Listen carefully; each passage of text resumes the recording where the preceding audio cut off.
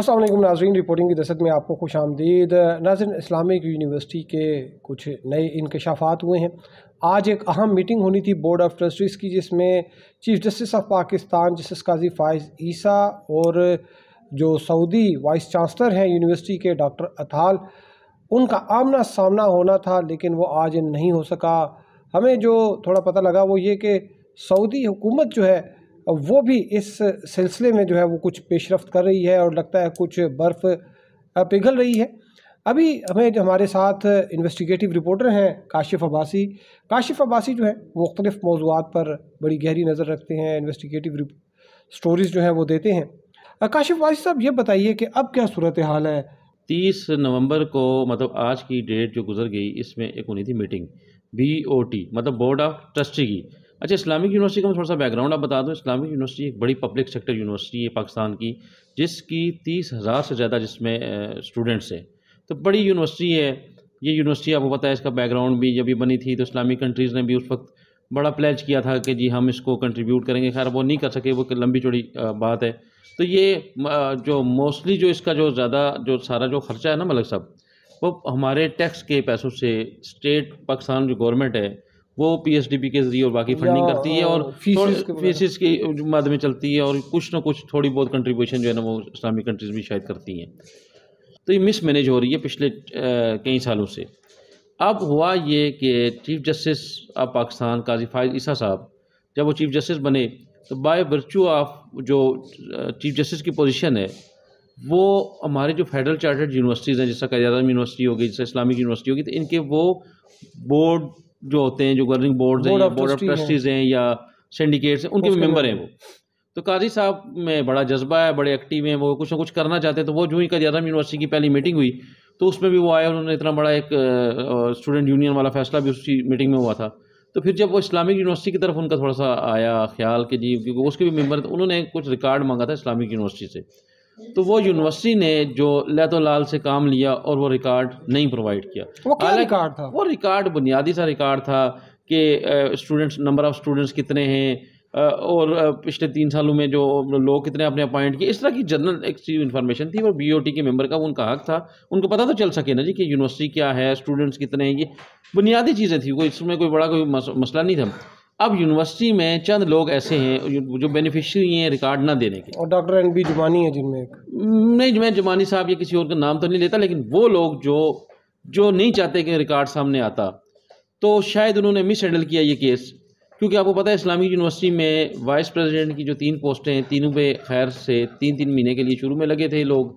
फिर वो खैर टिल फर्दर आर्डर हो गया। टिल फर्दर आर्डर क्या होता है मलिक साहब तीन तीन साल से लोग टिल फर्दर आर्डर पर बैठे हुए हैं।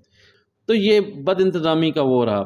तो यहाँ से किसी सियाने ने मशवरा दिया होगा यूनिवर्सिटी को ये पता नहीं यूनिवर्सिटी का अपना फैसला था। उन्होंने ना डाइवर्ट करना शुरू कर दिया कि जी वो ये है तो वो है तो आप, नहीं, आप नहीं प्रेसिडेंट ऑफ़ पाकिस्तान से हम पूछेंगे वो हमारे चांसलर हैं तो वो प्रेसिडेंट कहेंगे तो हम आपको रिकॉर्ड देंगे। तो प्रेसिडेंट ऑफ़ पाकिस्तान को जब पता चला उसने फिर आगे से उनको एक किस्म का स्नैप किया उन्होंने कहा भाई उन्होंने रिकॉर्ड मांगा दे रिकॉर्ड आपने अभी तक दिया क्यों नहीं है?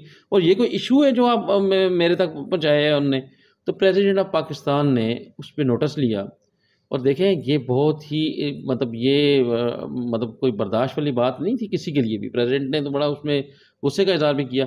तो उन्होंने फिर डायरेक्शन दी यूनिवर्सिटी को। और आपको मैं बताऊँ यूनिवर्सिटी का जो एक्ट है ना जी मलक साहब यूनिवर्सिटी का आर्डीनेंस सॉरी उस आर्डीनेंस में लिखा हुआ है कि बी ओ टी की मीटिंग कम अज़ कम साल में एक दफ़ा होगी। कम अज़ कम साल में एक, दफ़ा होगी। यहाँ पे ये जो लोग जो इस सिस्टम के बेनिफिशरी हैं इन्होंने ये उस आर्डीनेंस की वायलेशन करते हुए, उसको बिल्कुल रोनते हुए, जिस तरह नहीं, तबाह करते हुए तीन साल से मीटिंग नहीं होने दी। मीटिंग करवाई नहीं। अब मीटिंग होगी तो चीज़ें सामने आएँगी। अब जब वो काजी साहब ने पॉइंट आउट किया कि ये वायलेशन है, इस इस आर्डीनेंस की भी, जो यूनिवर्सिटी का है, और आपकी मीटिंग क्यों नहीं, मीटिंग बनवाएँ? तो फिर वो प्रेसिडेंट साहब ने लेटर लिखा, उन्होंने डेट दे दी कि जी तीस नवंबर को बीओटी की मीटिंग में as a chancellor president of Pakistan chancellor हैं उस यूनिवर्सिटी के। उन्होंने मीटिंग कर दी जनाब डिसाइड की उन्होंने कहा जी बुलाएँ मीटिंग मलिक साहब पैंतालीस दिन पहले प्रेसिडेंट ऑफ़ पाकिस्तान आर्डर देता है और आप इस ब्यूरोसी और ये जो ये जो यूनिवर्सिटी की इस्टेब्लिशमेंट है विद इन द यूनिवर्सिटी और इन सारे लोग मैं तो कहता हूँ इसके ऊपर तो प्रॉपर इंक्वायरी करके जो जो कोई भी रिस्पॉन्स अगर किसी पर रिस्पॉन्सिबिलिटी फिक्स होती है उन लोगों के खिलाफ तदीबी कार्रवाई की जाए। मीटिंग क्यों नहीं हो सकी? मीटिंग ये नहीं हो सकी कि पहले रिकॉर्ड नहीं दिया गया। ठीक है जिस जिस जो जो रिकॉर्ड ना देने की वजह अभी देते हैं ये देते हैं वो देते हैं करके फिर इस मीटिंग को इसी तरह घुमाया गया। कभी कहा गया कि इस मीटिंग को वहाँ कर लेते हैं कभी कहा यहाँ कर लेते हैं। टैक्स के पैसे ये कौम देती है इस इस्लामिक यूनिवर्सिटी को बिलियन ऑफ़ रुपीज़ की फंडिंग है तो ये अकाउंटेबल नहीं है।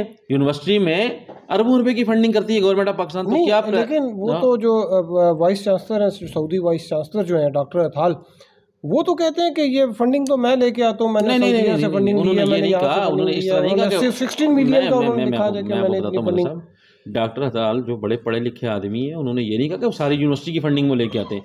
उन्होंने तो अपनी तरफ़ से कंट्रीब्यूट जो भी कर सके वो तो बहुत थोड़े से पैसे हैं उससे यूनिवर्सिटी चलती है इस्लामिक यूनिवर्सिटी है ओआईसी की उसके तहत ये बनी हुई है तो वो तो चलें वो छोटा मोटा वो तो बहुत ही नॉमिनल सी है वो कोई इशू नहीं है उससे यूनिवर्सिटी नहीं चल सकती। इनका एडवाइज़र कौन है जो ये चीज़ें समझाता है?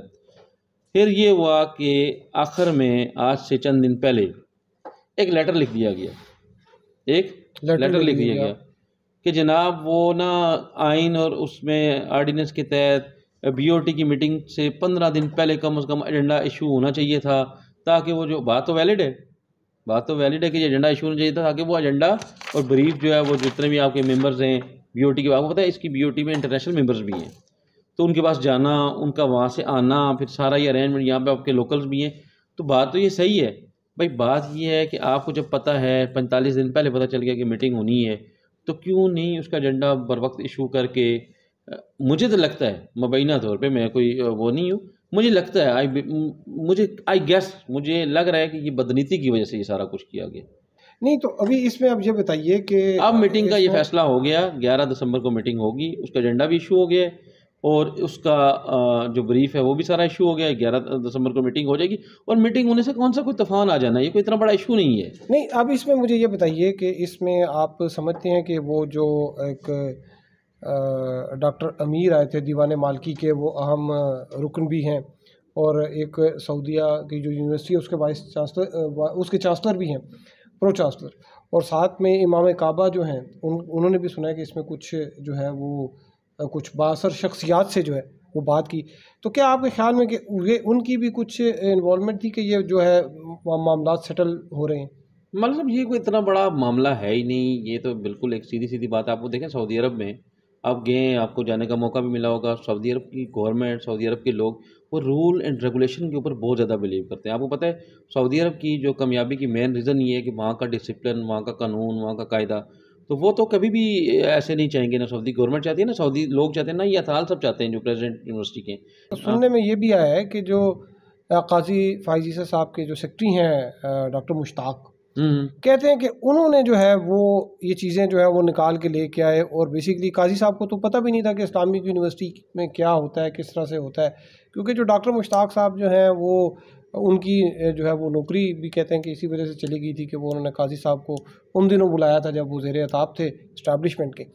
तो और इस साइड पे जो है अगर आप देखें तो इस पर कहते हैं कि जो डॉक्टर जुबानी हैं वो जो है उन्होंने जो है मिसलीड किया है डॉक्टर अथाल को।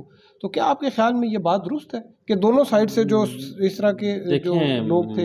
देखें ना अब हमारी आपको पता है वैसे हम कैसे किसी पे बात कर सकते हैं? डॉक्टर मुश्ताक का जो तल्लक है मैंने सुना है कि डॉक्टर मुश्ताक कोई हैं सुप्रीम कोर्ट में जो पहले इस्लामिक यूनिवर्सिटी के एम्प्लाई रहे हैं। तो डॉक्टर मुश्ताक तो इरेलीवेंट हैं वो तो कोई ना कोई वो रिकॉर्ड मांगा है उन्होंने ना उन्होंने कभी कुछ किसी यूनिवर्सिटी में कुछ कहा है। वो तो बेचारे मेरे ख्याल में अपनी वहाँ पे कोई नौकरी कर रहे हैं तो काजी साहब को फिर कोई नहीं, काजी साहब को नहीं मैं मैं आपको बताता हूँ मैं मैं बताता हूँ। और डॉक्टर मुश्ताक ने कोई लेटर लिखा डॉक्टर मुश्ताक का क्या लेना देना उन्होंने तो कुछ भी नहीं कहा। काजी साहब हैं मेंबर नहीं नहीं ये आप कैसे कह सकते हैं फ़ीड किया होगा? तो फिर कैसे पता लगा? तो लगा क्या? क्या क्या पता लगा? वो कोई उन्होंने बीओटी के मेंबर की हैसियत से इन्फॉर्मेशन मांगी कि ये मुझे इन्फॉर्मेशन दें जो उनका राइट है। जब मलिक साहब आप भी किसी नए शहर में भी जाते हैं तो आप कहीं सैर करने भी जाते हैं आप कहते हैं यार मुझे कोई कोई कागज़ दें शहर में क्या क्या चीज़ें हैं क्या नहीं है? तो वो तो उन्होंने मांगी और वो तो काजी साहब ने as a member of BOT मांगी कि इस यूनिवर्सिटी की मुझे चीज़ें तो मैं तैयारी करके आऊँ। नहीं अच्छा डिफेंड किया जी नहीं मुश्ताक नहीं बात ये नहीं है डॉक्टर मुश्ताक को डिफेंड कर रहे हैं जमानी के बारे में? डॉक्टर जमानी के बारे में डॉक्टर जमानी तो बेचारे वाइस प्रेसिडेंट है। देखिए डॉक्टर जमानी ने क्या गनाह की है लोगों की वजह से। अच्छा मैं मतलब साहब बताऊँ आपको मुझे आज दिन तक जो अफसोस की बात है यूनिवर्सिटी के किसी टीचर ने किसी फैकल्टी मेंबर ने किसी बंदे ने कभी ये नहीं कहा जी कि एक स्टोरी कर दें ये हमारे स्टूडेंट बैठे हुए बेचारे इनकी क्लासेस नहीं हो रही। मैं मिसाल दे रहा हूँ पढ़ाई का स्टैंडर्ड अच्छा है, या कम हो गया है, ये ये सारे अपने चक्कर में, सब अपने। कुछ किसके साथ चिपटे हुए कोई किसके साथ चिपटे हुए ये कहते सानू लाओ भाई, मैनू लाओ तू ला दिता मलक साहब तो मैं पीछे फिर जाऊँगा कि ओ हो हो, मलक नहीं को लाया, मैनू लाओ। अब इकतदार पावर और ये जो लोग बोलते हैं ना, इनको लगा दें तो खामोशी, दूसरा ग्रुप बोलना शुरू कर जाएगा। एसेट है ये यूनिवर्सिटी हमारी। तो इसमें जैसा सऊदी अरब ने पिछले साल भी कंट्रीब्यूट किया उससे पिछले साल भी किया, कुछ मिलियन डॉलर में इस तरह वो और भी करें और और भी इसमें इसको और यूनिवर्सिटी को बड़ा किया जाए, ताकि ये निज़ाम चले। तो ये इतना बड़ा इशू नहीं था जितना बड़ा ये इशू बना। और एक बात मैं और बता दूँ, जिस आपने कहा जी कि काजी फायज ईसा साहब का और प्रेसिडेंट इस्लामिक यूनिवर्सिटी का आमना सामना ऐसी क्या बात है? आमने सामने की क्या इशू है? Both are members of the B जी, बहुत शुक्रिया काशिफ अब्बासी साहब जी। नाजिन तो आपको इस हवाले से मज़ीद अपडेट करेंगे। अब तक के लिए इतना ही। हमारे साथ रहने का शुक्रिया। अल्लाह हाफिज़।